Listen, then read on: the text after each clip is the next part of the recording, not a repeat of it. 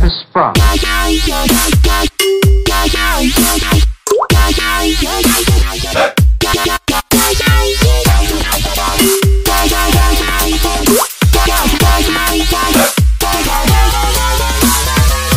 Hello guys, welcome back to my YouTube channel. Today we're going to be doing finals footy and make sure to leave a like and subscribe as we get kicked off. So yeah. The 2023 finals started off with a thriller between Melbourne and Collingwood at the G. With 95,000 plus people in the house, this game was revved up early. With at least two fights in the first two minutes, Collingwood stayed strong for the whole game and ended up winning by seven points. At halftime, it looked like the so called flag pies were going to win by a fair bit. But then players like Bayley Fritsch for Melbourne brought back the demon spirit that we all know.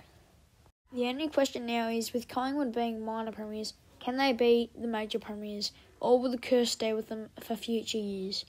Tonight, final two takes place at the G, where Sydney and Carlton will have will play it out, and the winner will verse Melbourne next week. My finals predictions for 2023 are up on the screen currently. I have Melbourne and Collingwood in the grand final this year. The winner is Melbourne.